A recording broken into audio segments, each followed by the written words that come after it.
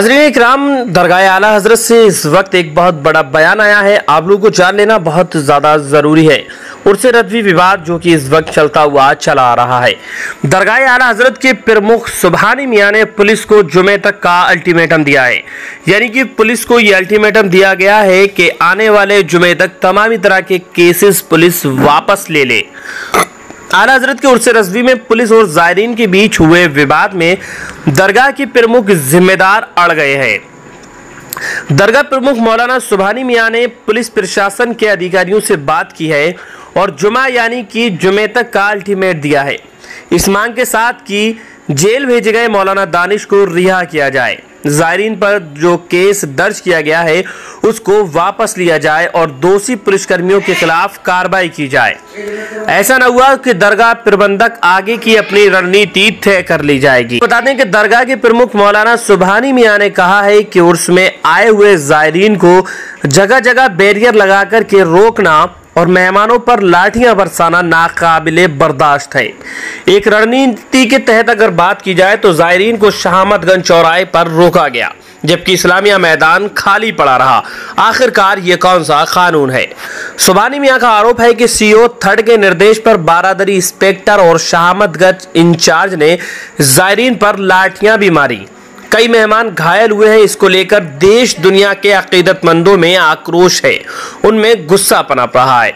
अगर जुमे तक मौलाना दानिश को नहीं छोड़ा जाता है और मुकदमे वापस नहीं लिए जाते हैं या दोषी पुलिस वालियों के खिलाफ कार्रवाई की नहीं की गई तो फिर दरगाह अपनी रणनीति खुद ही अपनाएगा। मीडिया प्रभारी नासिर कुरैशी ने बताया कि सज्जादा नशीन मुफ्ती एहसन मियाँ के निर्देश पर टीटीएस का एक प्रतिनिधि मंडल पुराना शहर मौलाना दानिश के घर पर भी गया। उनके परिवार को भरपूर मदद का भरोसा दिलाया और दरगाह से ये स्पष्ट हो गया है कि किसी भी जायरीन के साथ नाइंसाफी किसी भी कीमत पर नहीं होने दी जाएगी। उसमें आने वाले आला हज़रत के मेहमान थे और जब जब शहर वालों को दरगाह की ज़रूरत पेश आई है, दरगाह साथ रही, हमेशा खड़ी रही। इस दौरान परवेज नूरी शाहिद, खान नूरी हाजी जावेद, औरंगज़ेब और तमाम ही लोग मौजूद रहे। दरगाह की चेतावनी के बीच सामाजिक और धार्मिक संगठन भी समर्थन में आ गए हैं। मुंबई की रजा एक्शन कमेटी के अध्यक्ष सईद नूरी ने कहा है कि ज़रूरत पड़ने पर उलेमा जेल भरेंगे। वहीं तहरीक फरोग इस्लाम के महासचिव मुफ्ती आमिर आरफीन रजवी ने कहा है कि दरगाह के प्रमुख जिम्मेदार इस मामले को हल कर रहे हैं। उनकी मांगे नहीं मानी गई तो दरगाह का जो ऐलान होगा उस पर संगठन के ज़रिए देश भर में अमल किया जाएगा। लेकिन सबसे बड़ी बात यह है कि दरगाह प्रमुख सुबहानी मियाँ ने कहा है कि अगर जुमे तक इस केस को वापस नहीं लिया जाता है तो फिर वो दरगाह के साथ इस पर फैसला लेंगे। कि आखिरकार इस पर क्या करना है?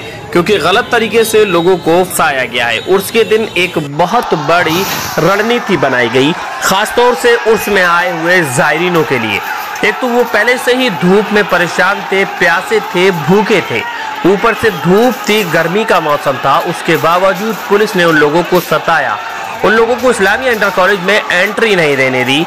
साथ ही साथ उन लोगों से कहा कि अगर आपके पास पास बने हुए हैं तो ही आप इस्लामी इंटर कॉलेज में एंट्री कर सकते हैं, वरना आप लोग इस्लामी इंटर कॉलेज में किसी भी कीमत पर नहीं जा सकते।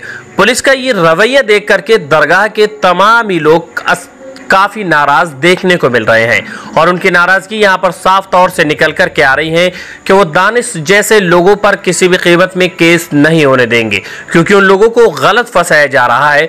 गलत तरह से उन लोगों को यहाँ पर मुद्दा बनाया जा रहा है। आखिरकार असल वजह क्या है?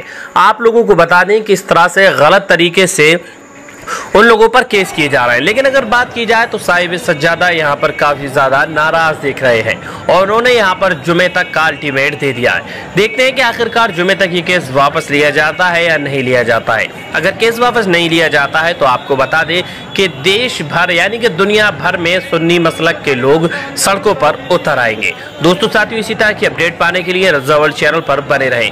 हम तमाम तरह तरह की पल पल की खबरें आप लोगों तक पहुँचाते रहेंगे।